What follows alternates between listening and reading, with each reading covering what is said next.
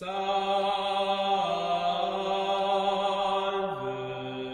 Christ. When this Greek word is uttered, it is unfortunate that most people immediately, unconsciously interpret it, destroy it through their psychological conditioning. That great and sacred word, the Christ.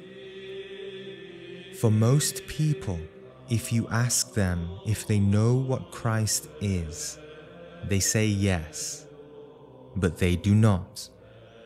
They only think they know what Christ is. Even most modern day Christians will say that Christ is Jesus, the man. While that is part of the truth, it is not the deeper truth in actual truth, if we want to know the reality to which the word Christ points to, we have to strive very hard in developing our own heart through practice.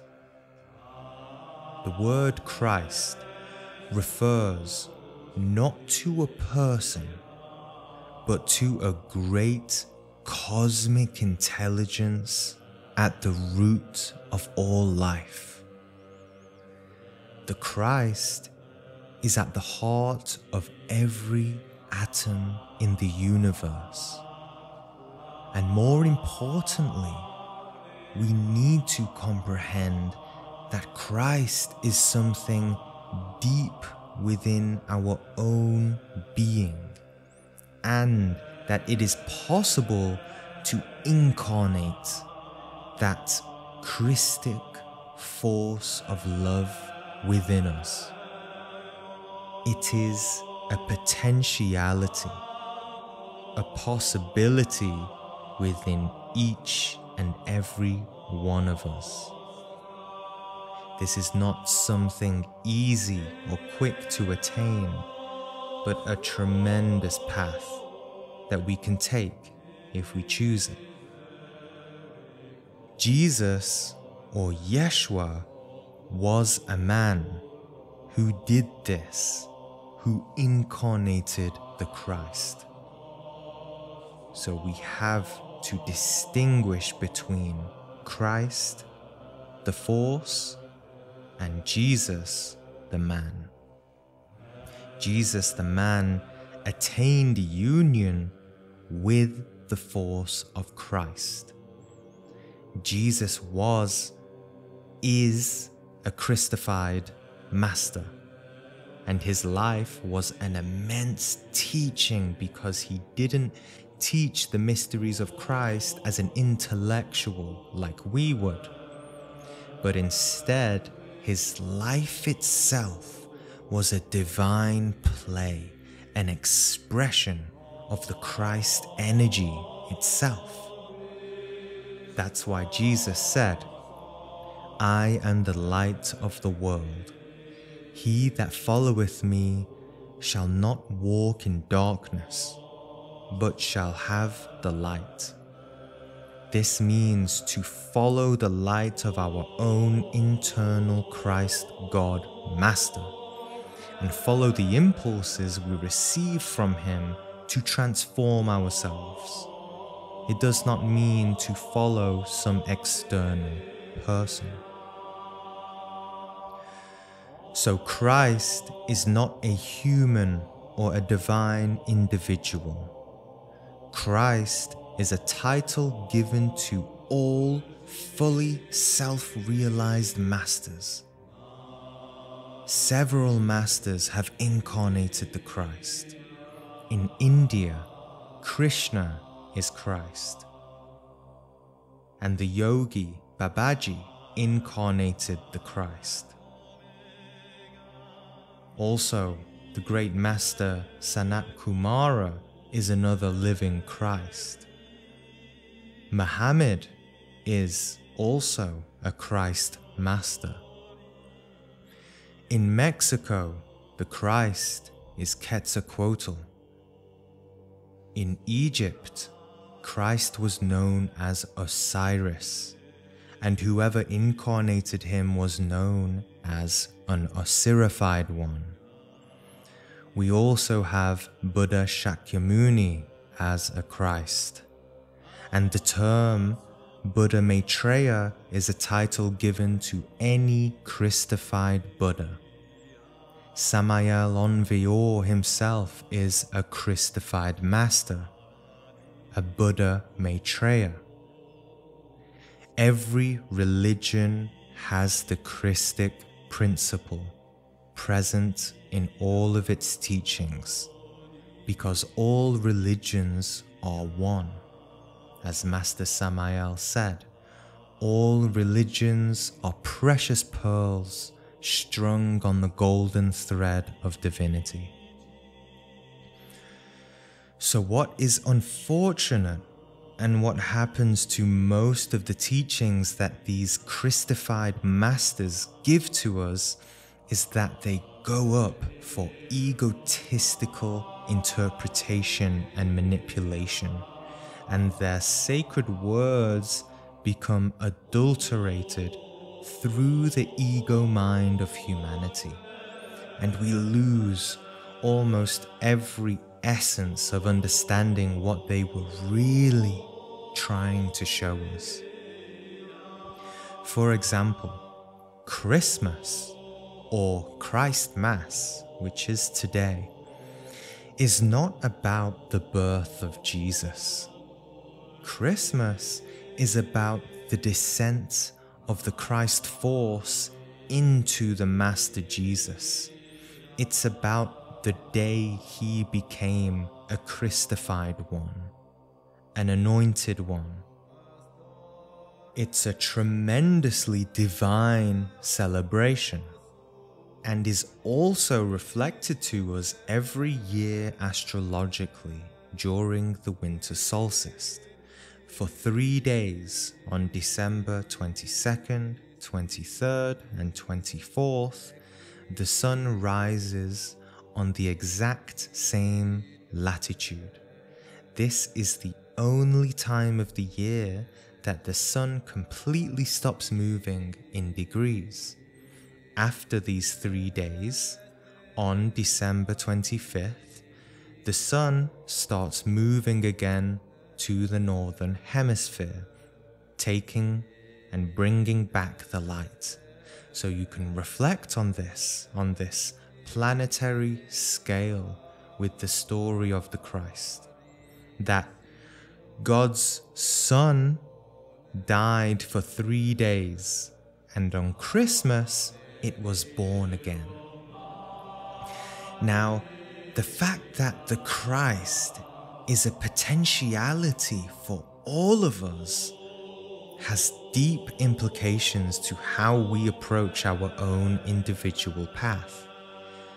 For those who believe that Jesus Christ is an external man who will one day save them through merely believing in him, is not reflective of the precise science of the path. Even what we call black magicians believe in Christ. They know it exists and they don't like it. So, to be saved is not a matter of belief, especially about the belief that if we just believe in Jesus Christ and that just by through that belief he will save us is absurd. Believing in him as a concept may give us nice thoughts and emotions, but it does not save us. It does not liberate us. What we need is to know what Christ is in a precise and experiential way and not just know it, but strive to incarnate it within ourselves. We have to become practical adepts of direct experiential knowledge and learn how to reach God halfway. We have to reach our arms out to divinity like a baby reaching for its parent, and then our parent also extends his arm back. This is symbolized in the creation of Adam painting by Michelangelo. We have to raise our hand, raise our willpower, and actually walk the path in order to be helped. The Christmas tree also relates to this. The Christmas tree represents our inner ascension to the Christ force within us, to the Holy Spirit, to the Son, and to the Father, and beyond that, into the Absolute. And this is all why we put a star at the top of the Christmas tree. The Father, the Son, and the Holy Spirit, which is the Holy Trinity. In Egypt, it is also represented by Osiris, Horus, and Isis. And in India, it is represented by Brahma, Vishnu, and Shiva. So, right now, we are just seeds. Seeds that have to go through the process of germination. And the Christmas tree represents the spinal column and points to the great work of birthing and blossoming our own tree of life within us, which elevates us to the higher dimensions of nature and the higher dimensions of consciousness. If you look at any seed, a seed must die in order to sprout, in order to be born. And as we walk the path, the Divine Mother Kundalini, the Holy Spirit, raises the energy along our spinal column, which is done through sexual alchemy and killing the ego. And over time, the Christmas tree grows and grows over many years of effort in this work. And every time one of our egos dies, a virtue is born within us. And every time a virtue is born within us, our Christmas tree our inner Christmas tree is decorated with a bauble of light. You can also see this as seven baubles according to each chakra as Kundalini ascends up the spine. You can also relate this to the Kabbalistic tree of life, lighting up each Sephiroth as we persevere on the path. So, this is something really great to meditate on during this time, such as when you see your Christmas tree at home or on the streets. It is a time to reflect on this deep and profound potentiality in our seeds' consciousness. And while we can and should worship the Christified Masters who can help us in the inner worlds, as it says, knock and the door shall open. More importantly, on the path, we should worship and follow our own particular inner individual God that is waiting to be incarnated within us on our tree of life. And we can best do that by committing seriously to the practices of annihilating the ego, completely destroying it, to cosmic dust, becoming a chaste person through transmutation and alchemy, and also attaining bodhicitta, the sense of doing all of this work for others, which is also called Christ centrism, as opposed to egocentrism. So, I hope this opens some people's minds this Christmas to the deeper universal profundity of Christ and Christ Mass within us all. And I want to leave you with the most powerful ritual prayer and meditation in the Gnostic teachings, which you can do today, which is the Pater Noster, the prayer of the Lord. This is a magical prayer with tremendous power, and it's taught that if prayed properly and profoundly, it is equal to one hour of meditation. When we say profound prayer, this does not mean just saying words intellectually. That is useless. In modern Christianity, it is unfortunate that most churches today do not teach meditation and profound prayer.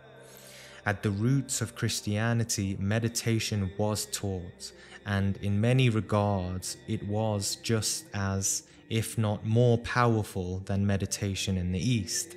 This is why Gnosis is so relevant today, because it brings back the teachings of meditation from the East and combines it with the prayer of the West to create something that is far more powerful than just meditation alone or just prayer alone.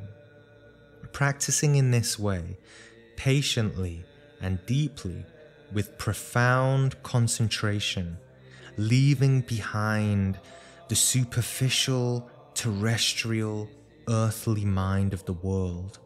Doing it in this way, we begin to produce a rare and mystical and unordinary state of vibrant harmony between the three brains, which begins to gradually illuminate our consciousness towards the divine, the divine intelligence of this Christic force.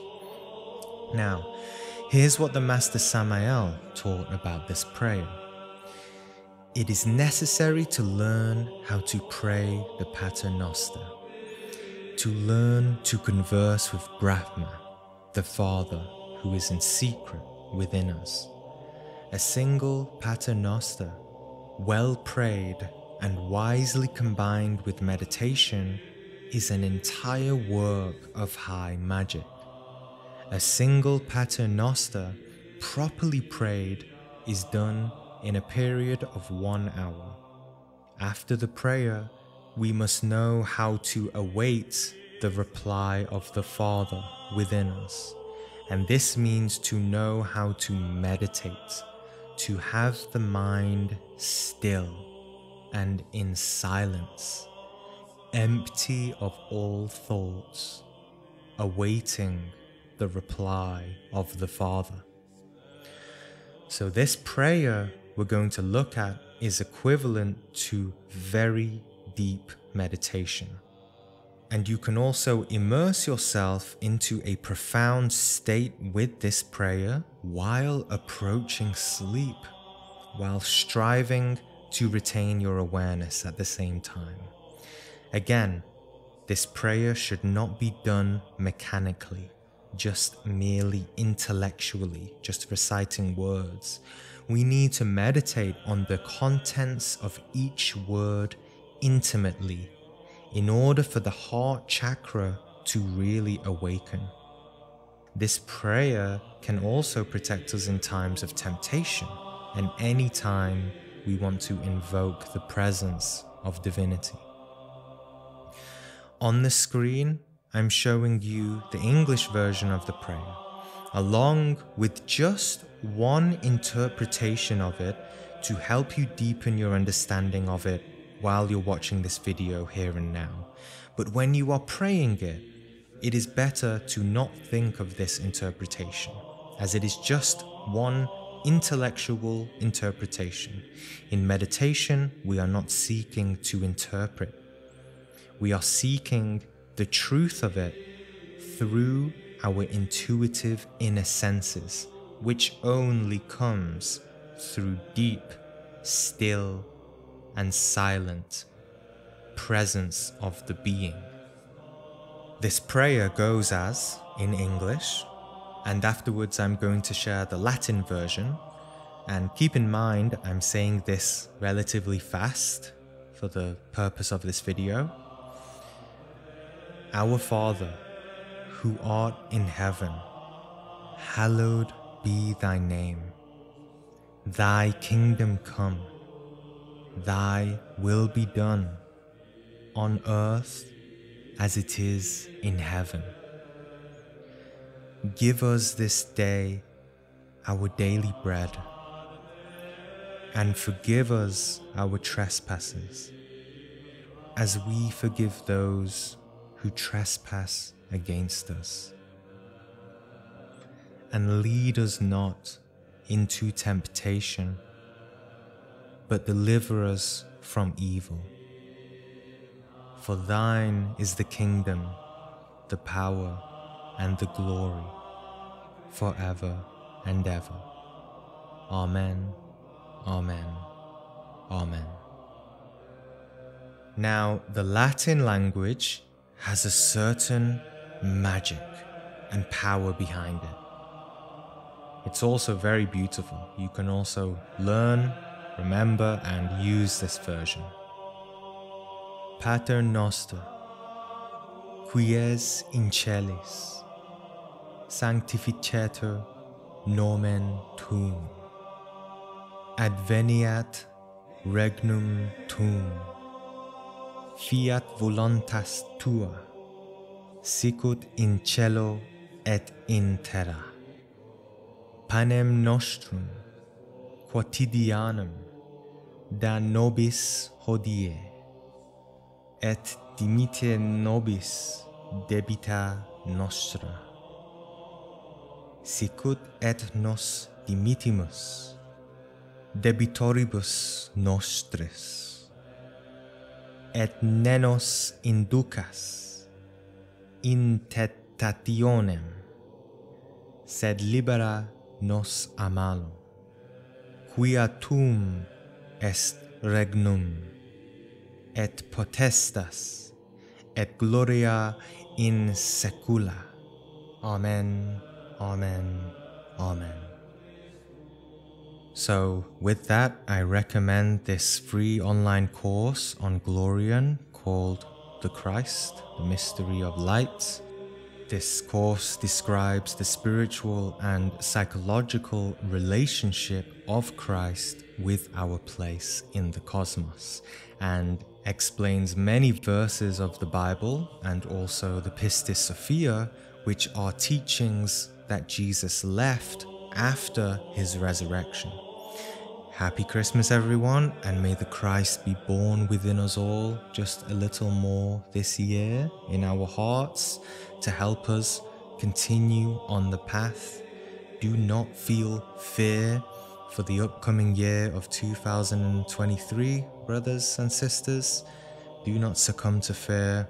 Do not succumb to the idiocies of the ego mind. Kill fear, kill the ego. As Master Jesus said, do not think that I have come to bring peace to the earth. I have not come to bring peace, but a sword.